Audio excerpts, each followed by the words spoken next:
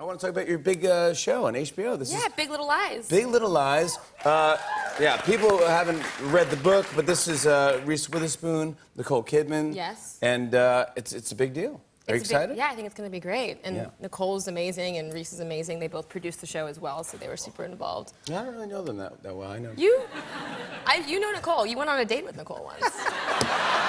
I've seen, I've seen that episode. Good job, bro. But I didn't know. I didn't know. I didn't know I was on a date with him. I know. It's I didn't know it was really awkward. It was Yeah. really bad. I've had, I've had bad dates too. It's fine. What was the worst date you've ever had? The worst date? Yeah. You don't have to say names. Oh, of course not. I went on a date Say once. a name. Joe! Just say No, it. Sorry, no, bad don't. Jake influence. Gyllenhaal, everybody. it Stories about Jake Gyllenhaal. was a horrible time. we don't have to say who it was, but what was it? Okay, not Jake Gyllenhaal. No, not Jake Gyllenhaal. I went on a date with this guy. The date itself was actually fine. We you know we talked about movies and music, and he told me he just got a new turtle. It was the date was fine. Um, the next day, I went home and he calls me. My phone rings, and I, I assumed I was like sick. I killed it last night. He's gonna ask me on a second date. Um, I pick up the phone and he says, um, you know, remember I was telling you about little Gary, my, my turtle? And I said, yeah. And he said, can you watch him for a few days? And I was, I was a little confused, and I said, I don't think that's a great idea, and you know, my, my roommate doesn't, I don't think she'd be cool with that, and my roommate who loves animals overheard me and was like, yes, let's take the turtle. so, um, so you know, I I said, all right, well, when are you leaving? He said, tonight. I'm going to bring him over right now on my way to the airport. So he comes over and drops off a duffel bag, says thanks, and leaves.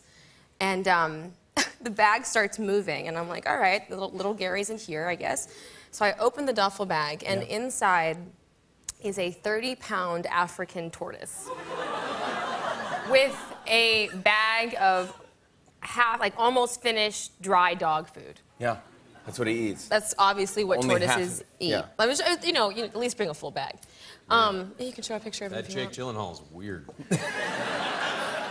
So I have this turtle for about a week, and Uh-huh. I call the guy and I'm like, dude, when are you coming back into town? Yeah, you got to pick up Gary. You gotta come pick up little little Gary. Little Gary. And he says, you know, my Giant. trip got extended. And so we keep little Gary for like another week, and he's become like, he becomes like the neighborhood mascot. Like people come over, we have barbecues, we love Gary. So then it's been maybe a month since we've had him, and my phone rings, and it's Gary's father calling. we'll call him Gary's dad. And so now I assume, okay, this guy is obviously calling me to talk about the giant 30 pound African tortoise that he left at my house. Yeah. No, he was calling me to ask on the second date. He says he's back in town and he wants to know if I want to go to see a movie. And so I'm thinking, this guy who you don't really know calls you, and after he leaves this giant African tortoise at your house, doesn't say anything, asks you on a second date. This is insane. So obviously I say, yeah, what time do you want to go? What What time- stay- yeah, what what time are you picking should me I up? be Yeah. there? So I go on a second date with this guy.